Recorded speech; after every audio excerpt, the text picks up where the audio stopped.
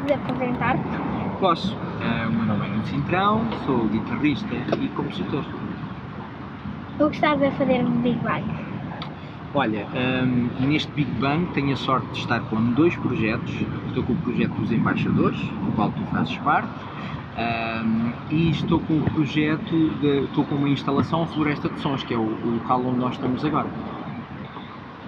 O que é que é a Floresta de Sons?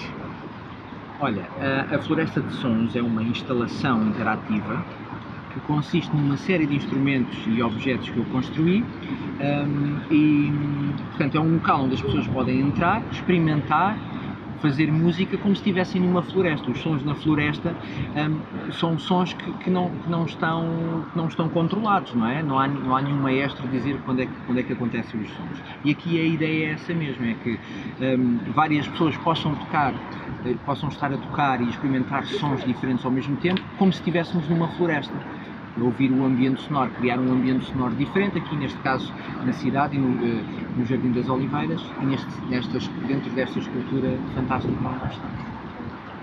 Quando é que começaste a tocar? Quando é que eu comecei a, a, tocar?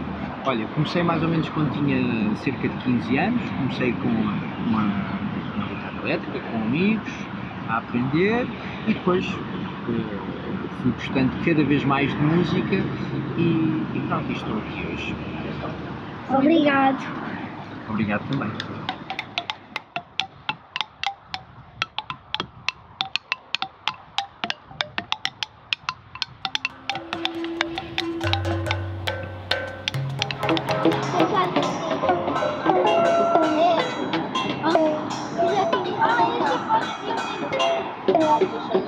Thank